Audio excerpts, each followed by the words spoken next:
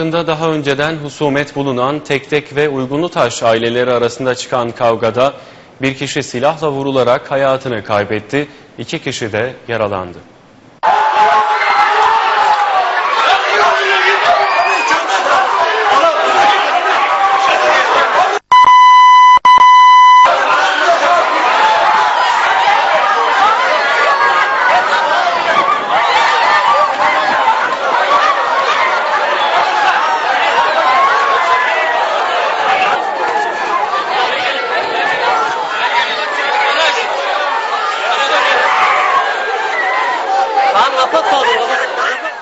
Karaköprü ilçesinde iddiaya göre önceden aralarında husumet bulunan amca çocukları olan Tek Tek ve Uygunlu Taş aileleri arasında tartışma çıktı. Tartışmanın büyümesi üzerine Tek Tek ve Uygunlu Taş ailesinin fertleri birbirlerine taş, sopa ve bıçaklarla saldırdı. Saldırıda Veysel Tek Tek, Elif Uygunlu Taş sopa ve taş darbeleriyle yaralanırken 23 yaşındaki Tarık Tek Tek kim tarafından ateşlendiği bilinmeyen silahtan çıkan kurşunla yaralandı. Olay yerine gelen ambulansla Mehmet Akif İnan Eğitim ve Araştırma Hastanesi'ne götürülen Tek Tek, yapılan tüm müdahalelere rağmen hayatını kaybetti.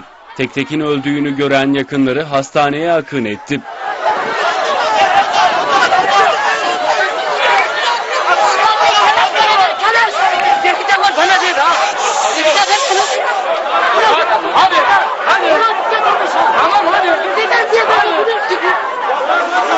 Tek Tek'in ölüm haberiyle yıkılan aile acil servise saldırmak istedi. Aileye polis engel oldu.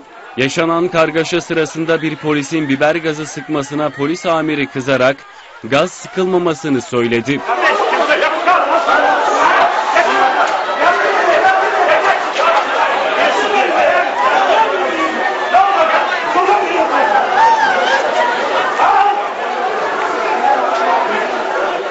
Geniş güvenlik önlemlerinin alındığı hastanede kadınlar saçlarını yolarak feryat etti.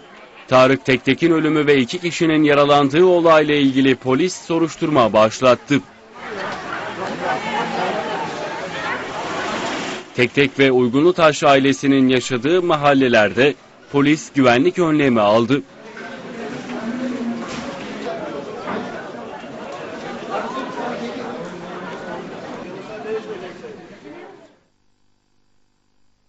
Van Bağımsız Milletvekili